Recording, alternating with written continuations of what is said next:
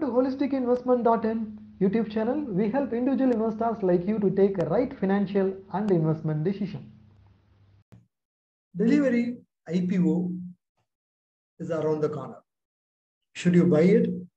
What kind of diversification this can bring to your overall portfolio? What kind of return it can add to your overall portfolio? What kind of risk it can add to your portfolio? Let us review. Hi, this is Ramalingam from holisticinvestment.in. We help individual investors like you to take right financial and investment decision.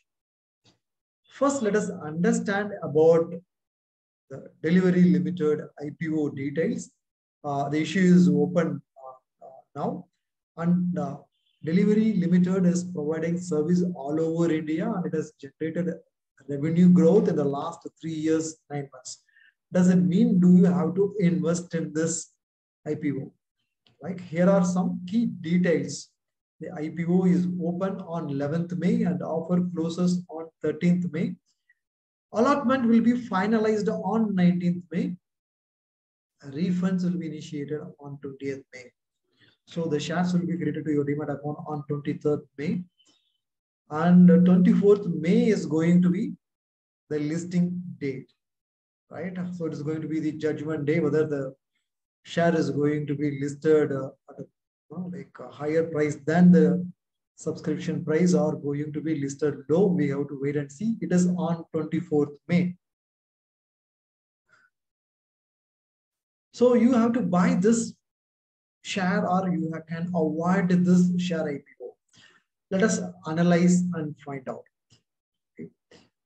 Uh, delhivery is the biggest and fast developing fully integrated logistics service provider in India. Right?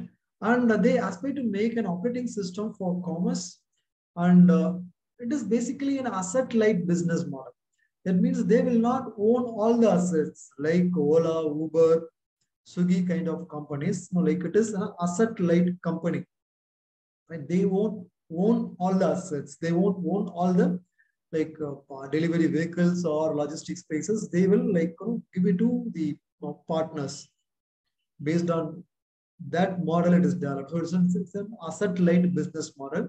In the asset light business model, it is easy to scale, but at the same time, the risk is stability because it is an asset light model. Stability can be low in the long run.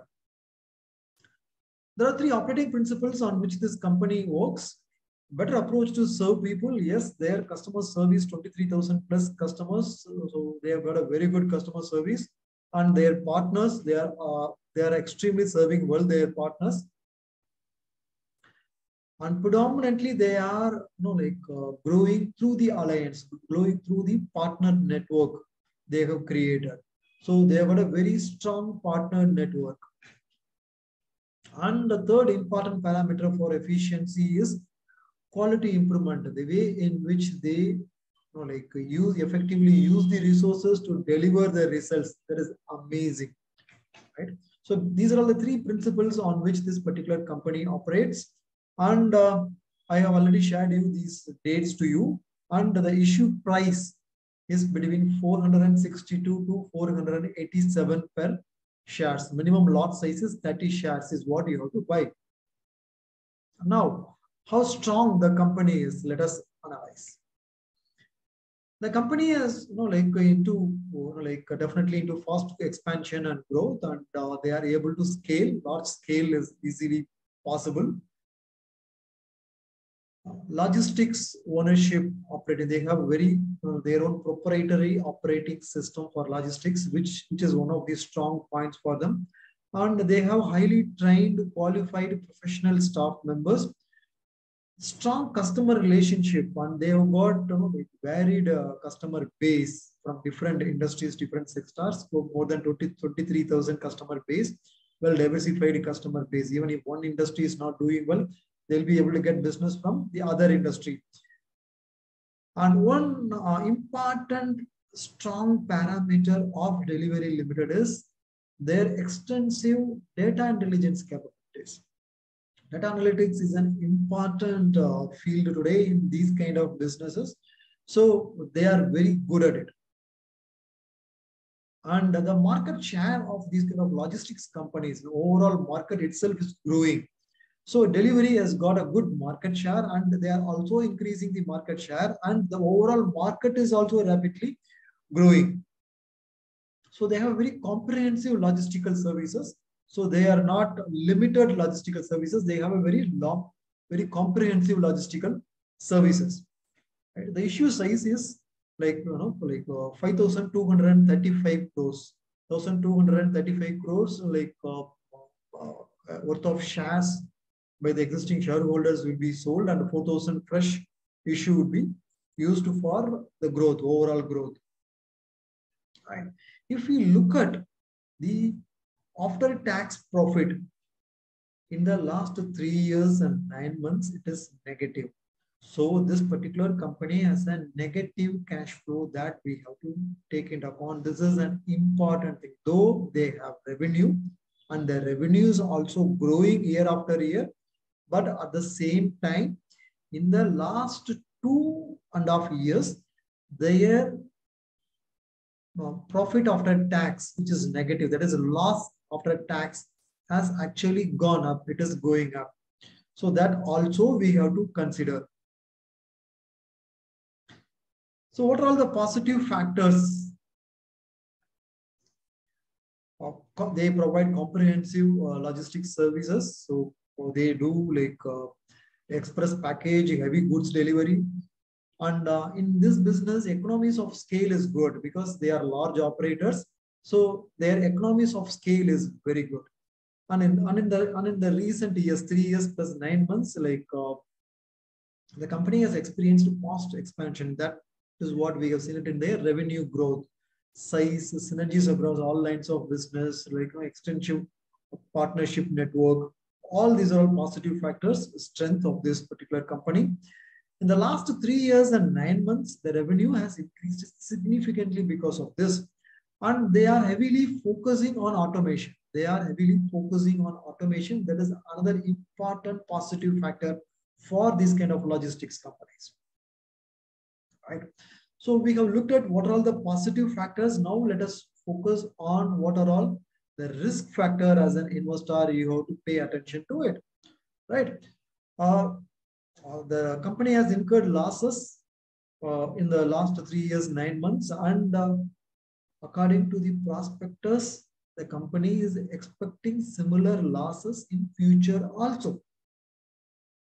So in the recent past, it obviously experienced negative cash flows. Right? The company is relying on uh, scalability, automation, unified network infrastructure, which primarily consists of logistics and transportation facilities, right? So dependency seems to be a major challenge uh, here. And in these kind of industries, disruption is easy because this is uh, the, the entire business model is asset-light model and it is technology based model. Someone can come and easily disrupt this industry. A new player can come and easily disrupt this industry because it is an asset light model. Anyone can start such a business easily, right? With the help of technology, some breakthrough in the technology, a newbie can come and give a breakthrough in, in this particular industry and uh, they can disrupt the existing companies, right? And uh, because it is you know, logistics, transportation oriented business, uh, fluctuating fuel prices can be uh, a risk factor for this particular business. Because of that, they may have to increase the price, whether the company has the pricing power, all those things plays an important role. So because of these risk factors, like I would suggest investors to be careful, you do your own analysis and also go through the prospectus completely before taking a decision. And from the valuation perspective, if you look at it, 462 to 487 no, per share is the price.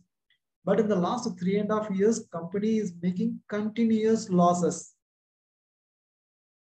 Also, we are not able to arrive at PE ratio because it was making losses.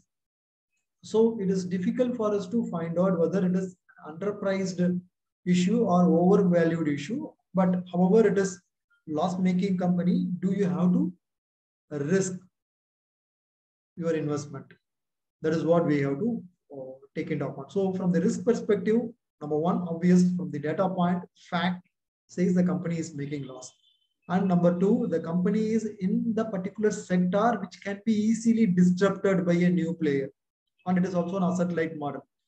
Because of these kind of risk as an investor, do you have to invest in these companies?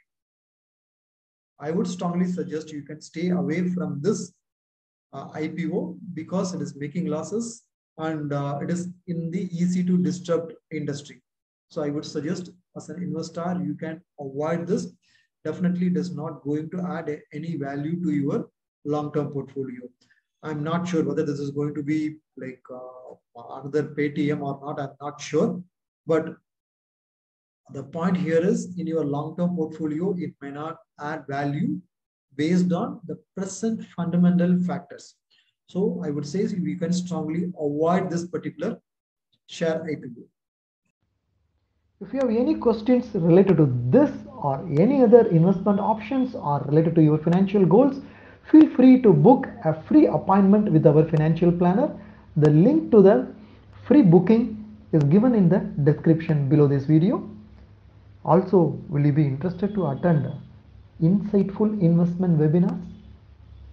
Then feel free to register for our upcoming insightful enlightening investment webinar and it is completely free. The registration link for the upcoming webinar is also given in the description box. If you like this video, please give a thumbs up. Also share it in your social circle. If you are not subscribed to our YouTube channel so far, please subscribe now. Bye.